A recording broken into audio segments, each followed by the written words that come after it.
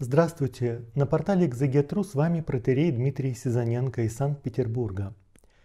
Сегодня мне хотелось бы ответить на вопрос, который возникает у некоторых людей, читающих книгу «Бытия». Почему Иосиф не был казнен по обвинению жены Патифара? В Египте Иосиф был в положении бесправного раба, и поэтому обвинение в покушении, попытке изнасиловать и обесчестить жену высокопоставленного сановника, конечно, закончилось бы смертной казнью. Однако с Иосифом этого не произошло. Эта история рассказывается в 39 главе книги «Бытия». Патифару, господину Иосифа, не стоило ничего казнить своего раба по суду или без суда, но этого не произошло, и в Библии отмечается, что Патифар очень любил и ценил Иосифа, потому что тот так прекрасно исполнял свой труд, что вызвал к себе полное доверие хозяина, и хозяин передал в руки Иосифа все свои дела. В действительности Иосиф сделался не просто рабом в доме Патифара, но управляющим его имением и первым, и, может быть, единственным доверенным лицом. В синодальном переводе говорится в четвертом стихе «И снискал Иосиф благоволение в очах его и служил ему, и он поставил его над домом своим, и всем, что имел, все отдал ему. И таким образом Иосиф понравился египтянину не просто своими человеческими качествами, скажем, как может понравиться э, усердный работник или талантливый человек. Есть еще другое очень важное замечание. Патифар чувствует, что Господь рядом с Иосифом. И вот в чем причина этого успеха. И здесь Библия вводит главного действующего лица во всей этой истории, которую очень часто поверхностный читатель не замечает. Господь такое же действующее лицо в этой истории и в нашей жизни, как и в истории с Иосифом. В то время как жена Патифара, и вы легко можете догадаться, что она не отличалась безупречной верностью своему мужу и любовью к нему, и поэтому, когда она обвиняет Иосифа, в изнасиловании Патифар прекрасно понимает, что жена может лгать. И не факт, что ей нужно доверять больше, чем Иосифу. Именно поэтому Патифар предает Иосифа не царскому суду, а поместил его просто в темницу, где содержались узники царя. То есть это была какая-то привилегированная тюрьма, куда помещались люди, которые впадают в немилость у фараона или у высокопоставленных сановников типа Патифара. И потом эта немилость может смениться на милость, как это произошло с одним из царедворцев, который оказался вместе с Иосифом. Таким образом, Иосиф попадает не в, просто в какую-то тюрьму, а в какую-то привилегированную темницу, где судьба человека может измениться.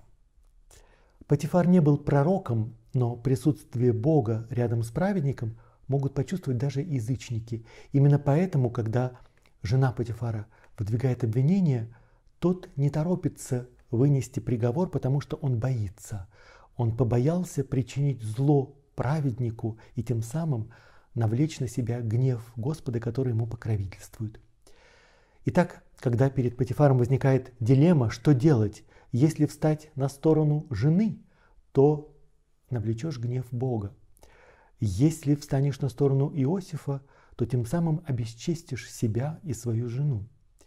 Именно поэтому в Библии говорится, «И взял господин Иосифа и отдал его в темницу».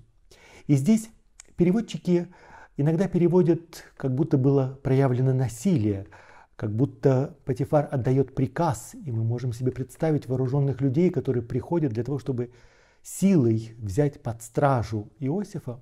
Но тот, кто читает текст в оригинале, видит, что совсем не факт. Потому что выражение «взять» означает не взять силой, а, например, убедить словом. И поэтому Патифар как бы предлагает Иосифу переселиться из своего дома в эту темницу. То есть здесь нет насилия, и тем самым уже картина немножко сменяется. И в действительности эта темница также принадлежала Патифару. Фактически ему просто предложили занять другую должность. Именно здесь тоже Иосиф будет полезен своему господину. И действительно, оказавшись в темнице, от того, что Господь опять рядом с Иосифом и простирает к нему милость, Иосиф получает благоволение в глазах начальника темницы. И начальник темницы отдал в руки Иосифу всех узников, находившихся там, и во всем, что они там не делали, он был распорядителем.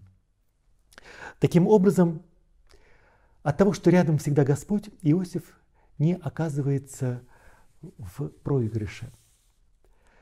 Другая причина, почему даже по египетским законам нельзя было казнить Иосифа, потому что у жены Патифара не было свидетелей. Для того, чтобы вынести смертный приговор, нужны надежные свидетели.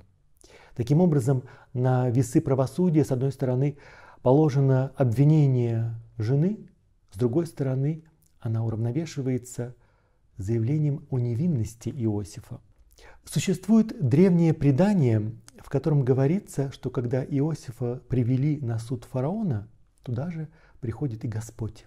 Он посылает архангела Гавриила в человеческом образе, и архангел Гавриил предлагает судье, давайте проверим одежды Иосифа и одежды жены Патифара.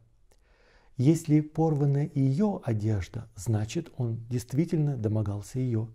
Если порвана его одежда, значит она домогалась его. Проверили. И оказалось второе. То есть на самом деле на суде открылась истина и невиновность Иосифа, и поэтому его и не наказали. Но поскольку все равно нужно было не предать позору жену Патифара, его поместили в эту темницу. И здесь мы понимаем, что все-таки главное действующее лицо во всей этой истории, конечно, сам Господь. И мне кажется, самым главным весть о том, что Бог никогда не оставляет без помощи, без защиты тех, кто верен Ему. Как сказано в 90-м псалме «Живы в помощи Вышнего, в крови Бога Небесного выдвориться», какая бы беда, какое бы зло не окружало нас, «Обачи очима твоими смотришь». И то есть достаточно лишь взглянуть вокруг, и мы увидим то спасение, которое Господь приготовил для нас. И в этом главный литмотив всех заключений Иосифа и его братьев. На портале Экзекетру с вами был протерей Дмитрий Сизаненко из Санкт-Петербурга.